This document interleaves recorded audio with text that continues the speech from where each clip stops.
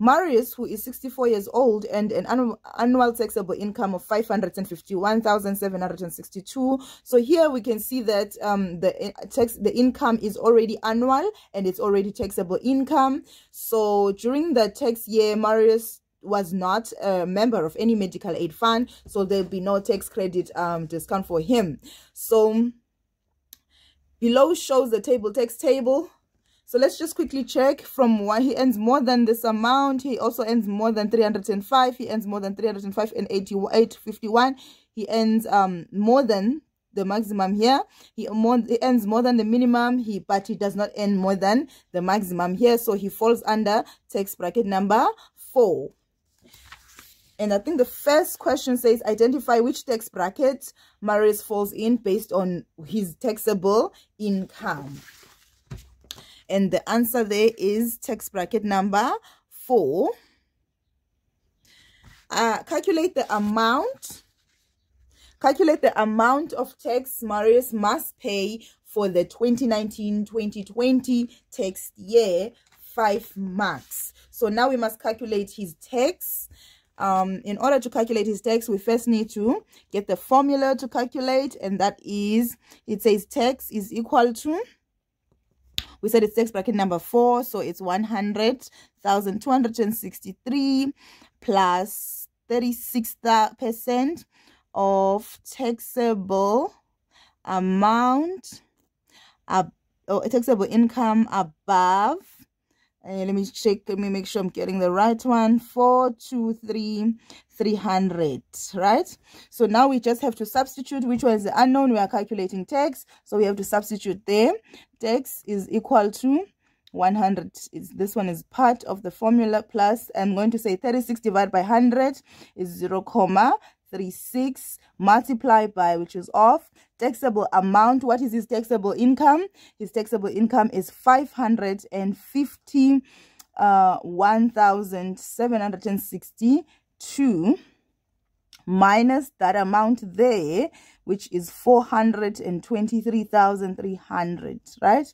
So now we say tax is equal to then we are doing the calculations. First we're going to start here and say this minus that which will be 128462 and then we're going to say tax is equal to 100,263 plus times 0 0.36 and then we say 46246.32 and then we add those together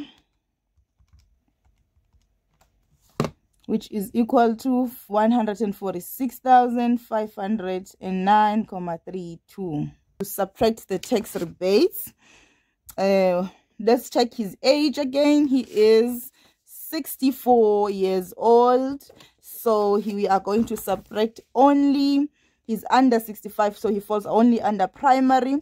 So his tax rebate will be minus 14,220 and then that will be minus 14,220 will be 132,289,82 then on the next question, Mario stated that if he had been one year older, he would have saved more than 600 Rand monthly on taxes paid during the 2029, 2020, 20, 2019, 2020 tax year. Verify showing all calculation statement. He says that the money that he's paying towards tax would have been um, less by 600. So he says he would have saved 600 which means minus 600 so let's first check how much is his monthly tax. So 51.3 he earns 132 he's supposed to pay 13289.82 so if we divide that by 12 we'll get his monthly tax.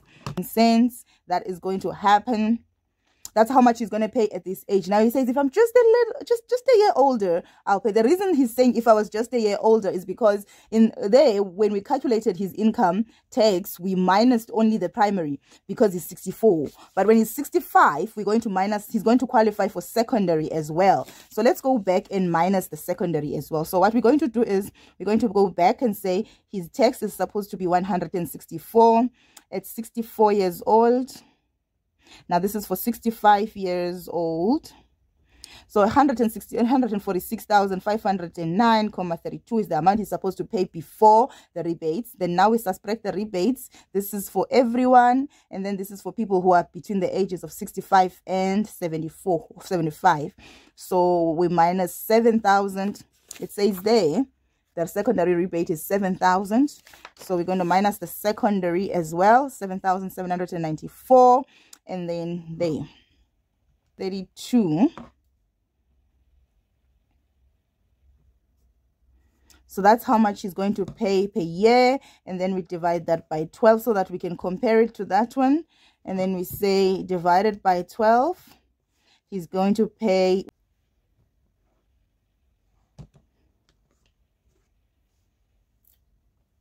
So Marius is considering joining a medical aid fund. He plans to include his wife and two grandchildren, determine the total monthly medical tax credits he would qualify for if he joined. So it's going to be him, his wife, and two grandchildren. It's going to be him, he's the main member. It's going to be his wife, his first dependent, and the two grandchildren will be on uh, both each independent additional dependents